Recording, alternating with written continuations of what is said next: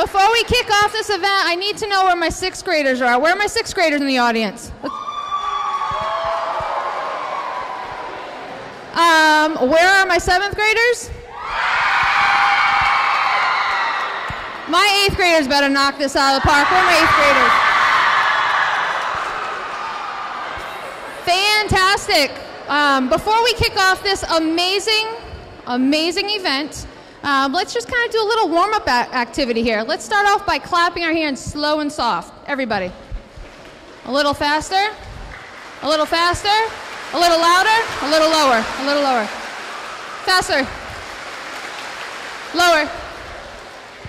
All right. So check it out, guys. I don't know if you were aware, but National Pay It Forward Day was last Saturday. That doesn't matter because we're going to be celebrating that here today. I am so, so, so proud of all the students and staff um, as we have raised a ton of money for our Pay It Forward event this year. So paying it forward should be something we consider every day. It's just general acts of kindness. And I know this year, this student body has knocked it out of the park uh, representing our core values. So without further ado, we've got some very special guests in our building today. Uh, we have Wanda Parent. I'm not sure if you all know Wanda Parent. Um, she's a local person who works at Jagger Mill full time. And in her spare time, she works at a ton of nonprofit organizations stuff, uh, such as Stuff the Bus and Right Brain Club. Um, so I'd like to introduce Wanda. Where's Wanda? Oh, there's Wanda. Everybody give Wanda a warm, warm welcome.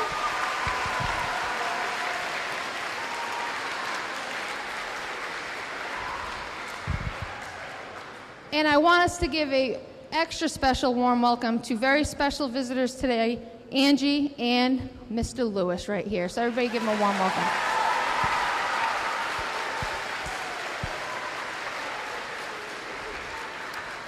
I'm going to be handing over the mic to our JMG kiddos. Hi, I'm Alicia, and this is Jersey, Isabella, and Vanessa.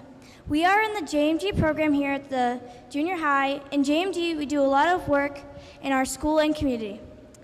We have a lot of opportunities to help other people. It's actually one of my favorite things about JMG. We've helped Wanda a lot, and she's so much fun to work with. Over the summer, summer Wanda told Miss Houle about what? introducing Wanda. No, today Wanda's going to talk. Okay, today Wanda's going to talk about paying it forward, introducing Wanda, Wanda Perrin.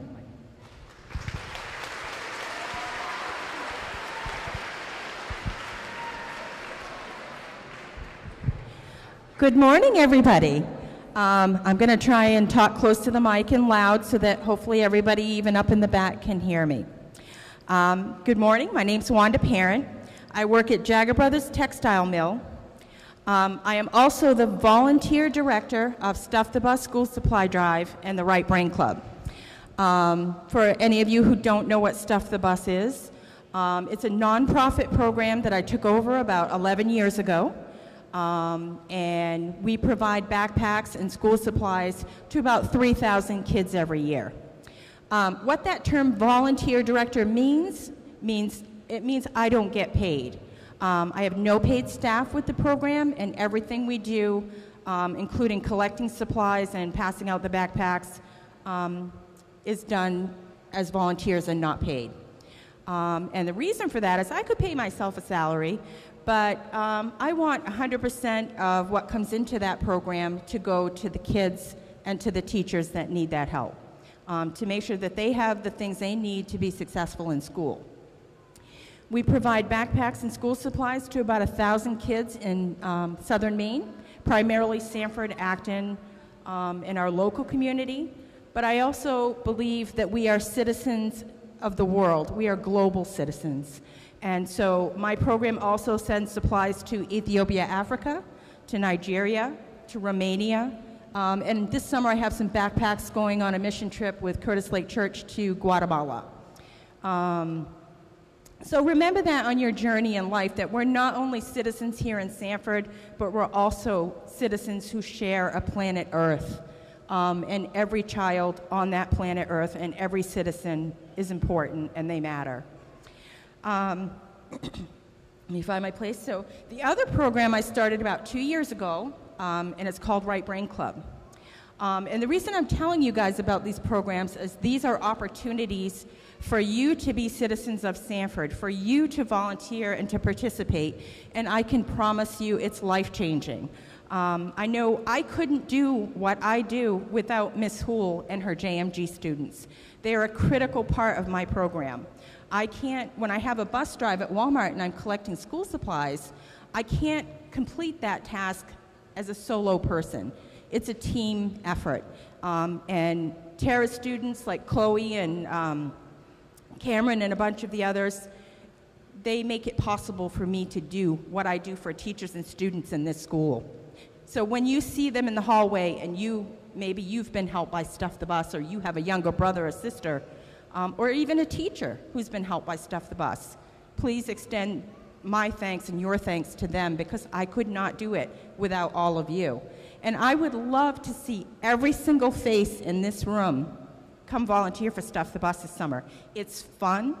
Um, it, you get to work on your public skills of dealing with the public and dealing with people. Um, it's fun being on the bus sorting, sorting school supplies. Um, and you can ask any of the students that do it. They come back every year and they really enjoy it. And you can do that right through high school. This program helps children grade 5 through grade 12.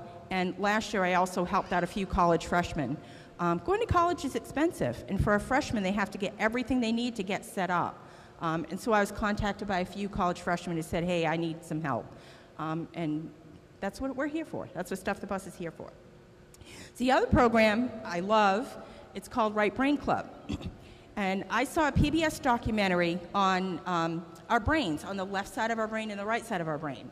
And it was speaking about how in this country, especially, that we really don't um, educate and develop enough of that right side of the brain, and that's the creative side. When you grow up, you're going to have a job, a career, hopefully, you're going to go to college, and you're going to have those things are really important but we also need other outlets to be a well rounded and whole human being. We need painting and we need music. Find something you love or have a passion for. And I'm going to give you some advice today. Try it, you might like it. I am 53 years old and I play with Legos. I happen to love Legos. Um, when you come to Right Brain Club, we have 45 board games. I have every possible craft supply you could possibly think of.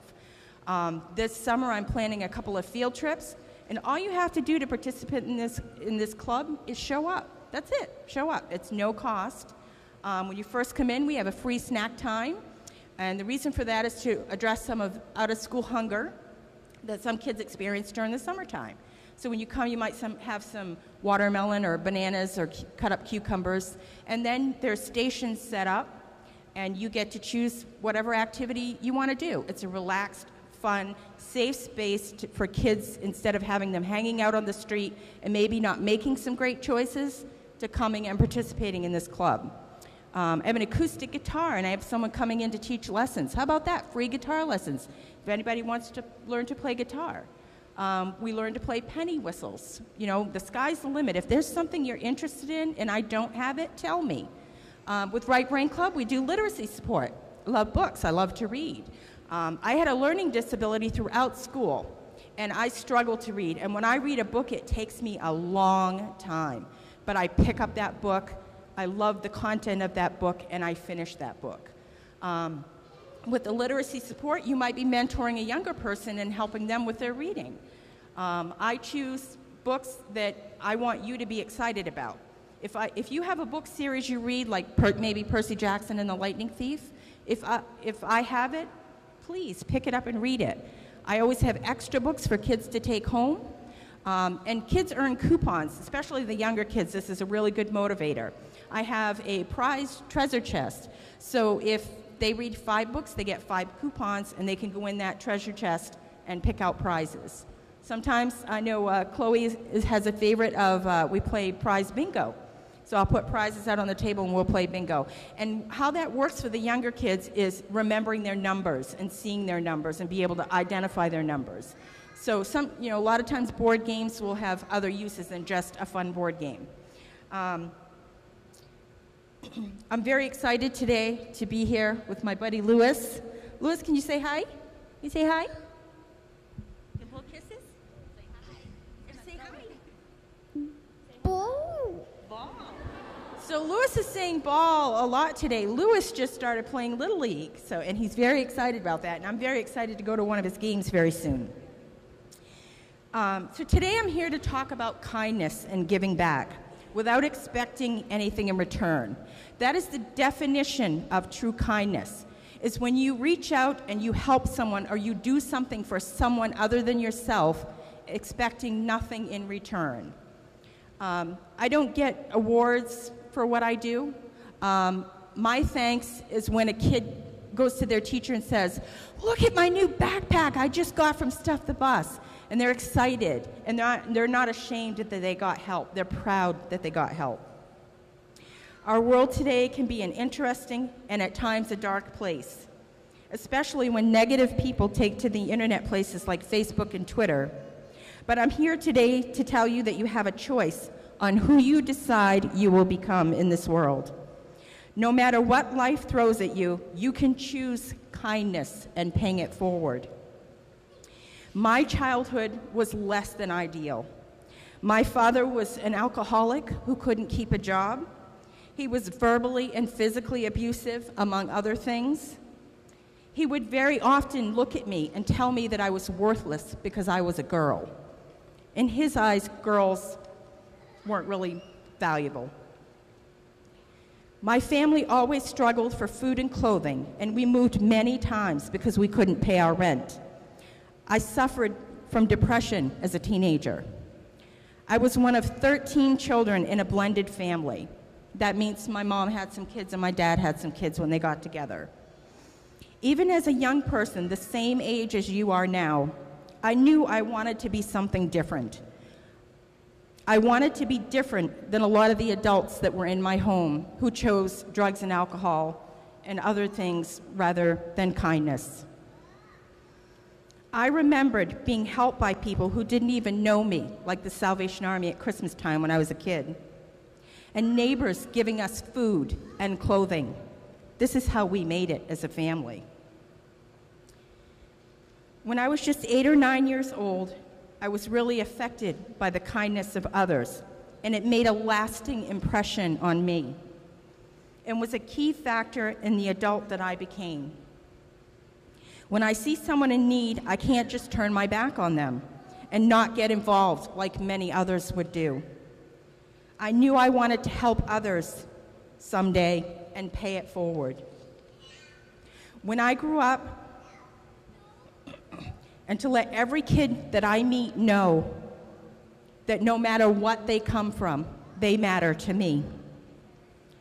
Being out in the community and volunteering a lot, I get to meet many different people and one day, while at the Portland Pride Parade, I ran into some family, my niece Sam here, and her mom, Laura. Stand up, Laura. Say hi to everybody. Laura raised an awesome kid all on her own.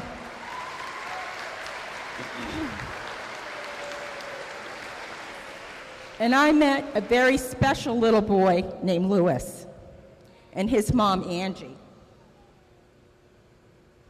At this point, I'm going to have Angie come up and tell you a little bit about Lewis, um, about his, his early birth and about some of his medical stuff. And the reason this is important is because I need you to understand Angie's daily life and why she's a hero to me. So Lu- Angie's going to describe kind of what Lewis's medical conditions are and about his birth, just very briefly. Hi, my name is Angie. I am Hello, I'm 22 years old, and when I was 17, sorry, I'm a little nervous. When I was 17 years old, I went into labor at 25 weeks, six days. That's 14 weeks early, 99 days early, actually. Uh, he was two pounds, three ounces, and 13 inches long. Yes, you were. He, like, he argues everything. He argues everything. Much bigger now. Yes, he's 26 pounds now. Still little, but this is my Lewis. He's my whole world. When he was two days old, he had a brain bleed, a grade three and a grade four, and that brain bleed never resolved. That is the reason why he has hydrocephalus. Hydrocephalus is water on the brain. He has, it wasn't an O at the time, but that was like the least of my worries, and when I thought that was the worst thing that can ever happen to him. When he was seven weeks old, he had um, meningitis, which practically tried to eat my baby's brain. They told me he would never come home with me. They told me to take him off life support and fall asleep with him so when I woke up, I wouldn't have to see him die. Ten weeks later, he came home. Seven pounds, 13 ounces, and 20 inches long. I finished my junior year in the NICU and tried to go back as a senior, but his, his medical conditions just skyrocketed then. He needed two brain surgeries, four or five medical stays, and many overnights at Maine Med. It was a really rough time, but I'm thankful for my best friend, that now is my girlfriend, his Lewis's other mom, Sam. She's You're a firefighter, by the way. yes, my firefighter. Oh, I'm shaking up here. I'm shaking up here, and I'm very thankful for Wanda and everything that she's helped me with. And all of you, thank you for having us. I really appreciate it. And talk about a shunt. Lewis has a shunt. Lewis has a shunt, which is pretty much what your spine does for you, with your spinal cord. In his brain. Yes, it's in his brain. It drains the extra fluid in his brain to his abdominal, to his belly, pretty much. So his, uh, crap, sorry. I promise I know all this. To help his brain grow properly, what's left of it, pretty much. They're very amazed of where he is now. They told me he would never speak, he would never walk, he would never eat on his own, he would never do anything. They told me he was going to be a vegetable, that I was going to have to take care of him, and that he was going to be a burden on every single person he ever met. A doctor told me that, and it was the worst thing I ever, ever, ever heard someone say. I'm very grateful I did not listen to him, and at 17 years old, I said, No, this is my baby, this is my life. You see him now playing with a balloon. They told me he would never do that.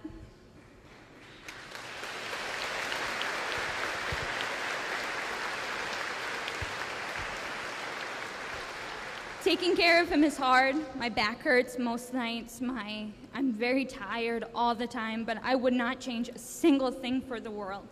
Everybody has been so nice to me. I have a following community on on Instagram that love Lewis and ask about him daily. I have people like Wanda in my life that people like Laura and Tim that ask about him and help me take care of him. I'm just so grateful. Thank you.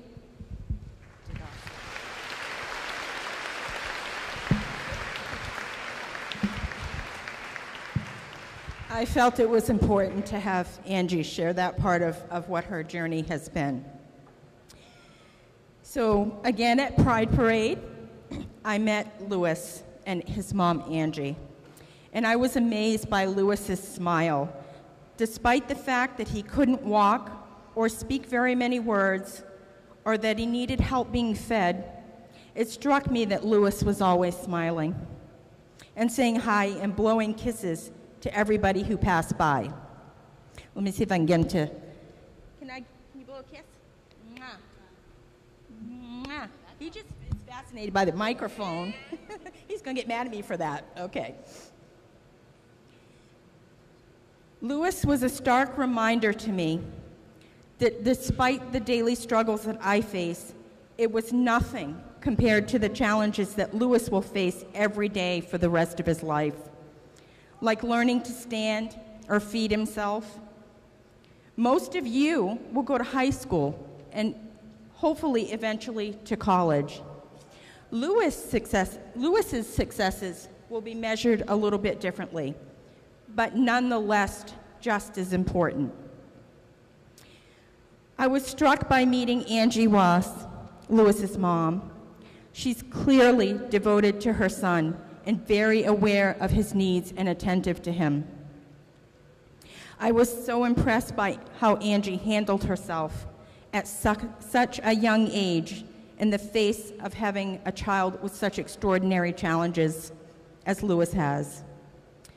Angie even went to battle with his transportation company because the doctors advised that it was best for his, his car seat to rear face. Um, and that was a complication for the transportation company. But that's the person Angie is. She advocated for her son, and that car seat faces rear because that is the safest choice for Lewis. The more I got to know them, the more I was impressed by Lewis's mom. She has an Instagram account to share information and news about Lewis's progresses and challenges. She loves her son. She's not ashamed of him. He's an important human being in this world. She often advises and supports other moms whose children have cerebral palsy and hydrocephaly. These moms donate and share equipment that their children outgrow or no longer need. Lewis has, um, they purchased a, recently a bath chair called a Splashy. And what this has allowed them to do is Lewis can be put in this seat and be given a bath. Lewis, on a hot day like today, can sit outside in a wading pool because of this one plastic seat. It's a plastic molded seat, and yet it cost $400? $500 for a molded plastic seat. But it was life changing for them. And that made me think how are these families doing this, getting these important pieces of equipment that are going to change their everyday lives? Lewis loves his Uncle Justin's football games. He's a football fan. And he's recently made some friends that he enjoys spending time with. He doesn't care about their clothes or who they hang out with. He doesn't care if they're popular kids. He just wants to say hi and be their friend. Recently, Lewis started playing t ball. Lewis has a life. One of my future goals for this family is to help them get a handicap accessible van so that Lewis can go on trips and excursions and football games and his baseball games and family events um, so that they're able to do that with ease. Kin- kindness doesn't require much at all, just the de- desire to be above the negativity in the world and to be something different do little things like holding a door for someone, or big things. Just do something. Volunteer and be a positive source of light in this community. We need it. Each of you need it. I need it. And I really hope that I get to see all of you this summer volunteering for Stuff the Bus or, or coming to Right Brain Club. I would really enjoy that. I've met quite a few of you, and you're awesome kids, and don't let anybody tell you that you're not. You're great individuals who care about yourselves and this community. Be a different person today when you walk out this door and into these hallways. It doesn't take much, it takes very little, but it's important and we need it as a community.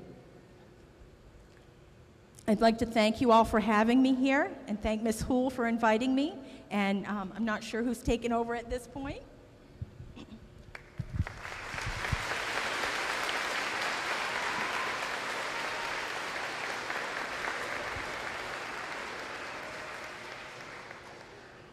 Hi, I'm Alicia, and this is Jersey, Isabella, and Vanessa.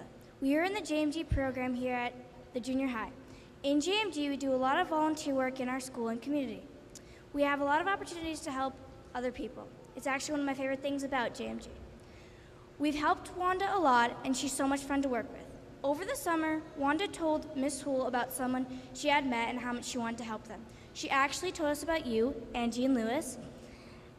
She told us how awesome you were and how you do so much for the other moms, Angie, and how sweet and kind Lewis is. We decided we wanted to, to help in some way.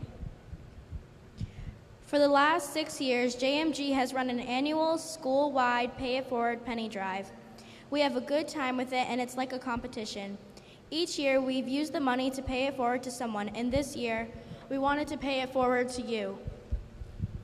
This whole school has been raising money since the beginning of April, and We are really excited to show you how we used it. We would like to surprise you with a few things.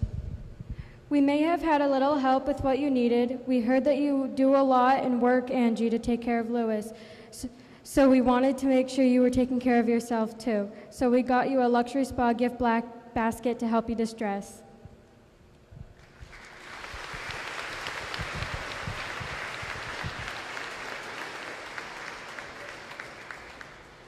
We also heard that you love Target, so we'd like to give you a $100 gift card to Target.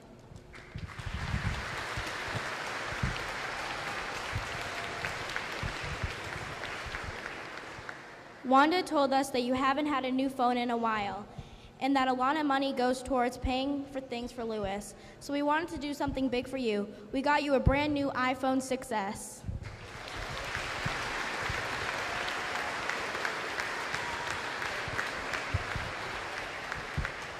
And what's the point of a phone if you can't text and call with it? We wanted to get you six months of straight talk, and Walmart donate, donated another three months, so you have nine months total of unlimited minutes and unlimited texting.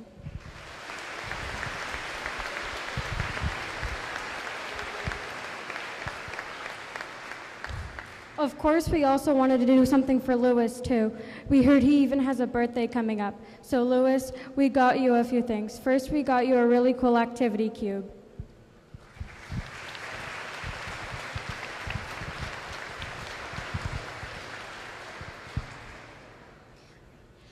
Lewis, we heard you love music. We got you some nice loud instruments so you can play Mom all the music you want. Mom will love that.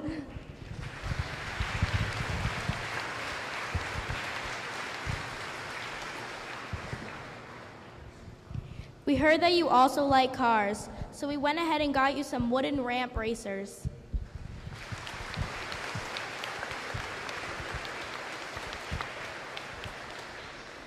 Wanda told us how much you love Paw Patrol too, so I definitely wanted to get you some Paw Patrol toys.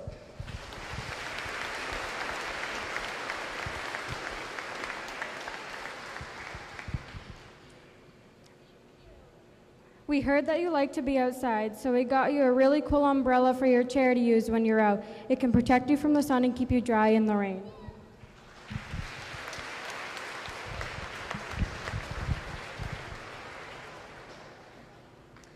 Found out that you're learning to eat on your own, too, so we wanted to get you something to help. We got you a new puku bowl and utensil holders.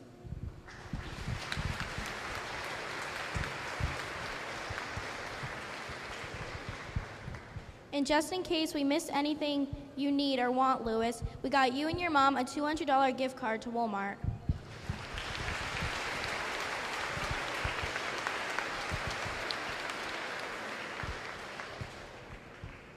We're not quite done yet. There's a few other things we got for you that we heard you really, really needed, and we're probably the most excited about these. First, Lewis, we heard that you really wanted an iPad, not only for fun stuff, but also to help you with therapy. So Miss Houle, our JMG teacher, spoke to Gramtastic Connection, a nonprofit that helps kids access to technology, and Leslie Morissette, the director, donated an iPad, an OtterBox case, and a stand and a stuffed frog, all for you.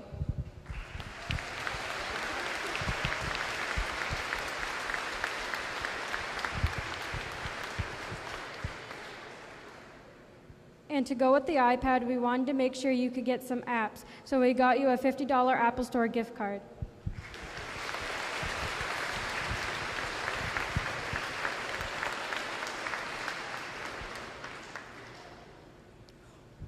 While researching what you needed, we discovered how expensive some of the equipment, equipment Lewis really needs is. So Angie wanted to help. We heard Lewis is working on standing, so we wanted to get him something he'd be able to practice with. We, we were able to get Lewis the Upsee from Firefly. The Upsee will allow Lewis to walk with Angie safely and get used to being on his feet.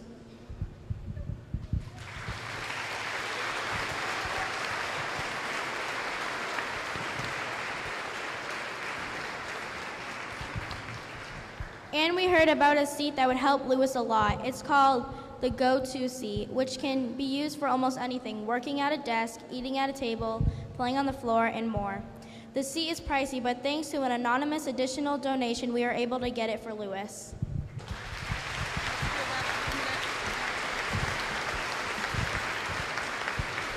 I asked to steal the mic for a minute because you guys could not hear what Angie said to me about the Upsee. She said, My son's going to walk. This device is a tool that helps kids with Lewis's condition work on their walking ability. And you guys couldn't hear her say that, but she was saying, He's going to walk, he's going to walk.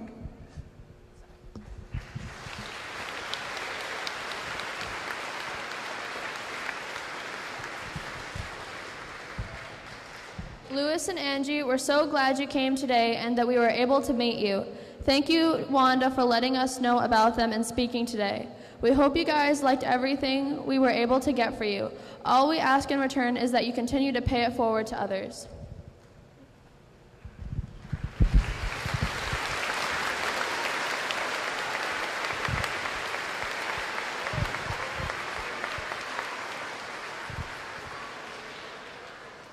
Sanford Junior High students, uh, even if you put one penny in a bucket, one penny, a nickel, a dime, a quarter, dollar bills, together as a school, you raised $2,900, ladies and gentlemen. That is unbelievable.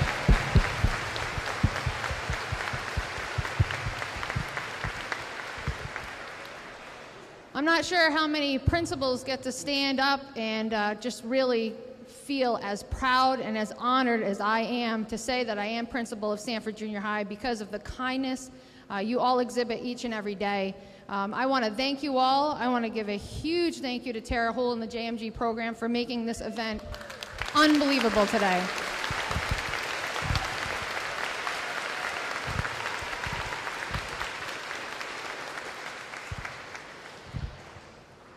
Wanda, thank you very much for coming in um, and presenting some kind words. And Angie, Sam, and Lewis, it's very, very nice to meet you.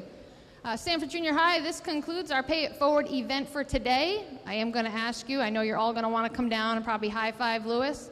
Nice, nice little wave, little air knuckle. Hey, buddy, I'm on the way out is completely fine. Guys, let's make it a great day, and thank you very much again for being an amazing school.